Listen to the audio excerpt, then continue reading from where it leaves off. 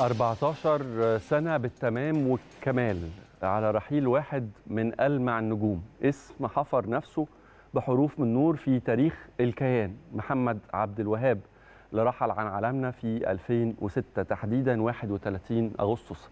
لا تبكي نفسي على شيء قد ذهبوا ونفسي التي تملك كل شيء ذاهبته. الحقيقة دي الكلمات اللي ودع بيها محمد عبد الوهاب أصحابه وزمايله في غرفة الملابس قبل وفاته بأيام.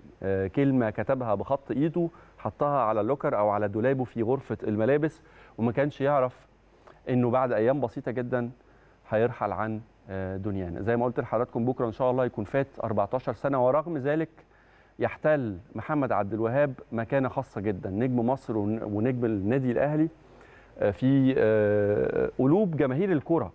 إيه حالة الحب وحالة الوفاء الكبيرة جدا؟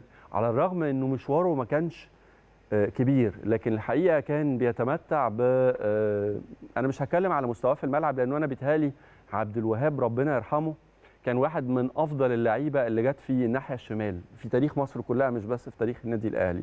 وعلى الرغم إن هو يعني رحل وهو عنده 23 سنة إلا إنه خد لحظات توهج ونجومية ما خدوهاش ناس كتيرة جدا قعدوا في مكانه فترات أطول بكتير.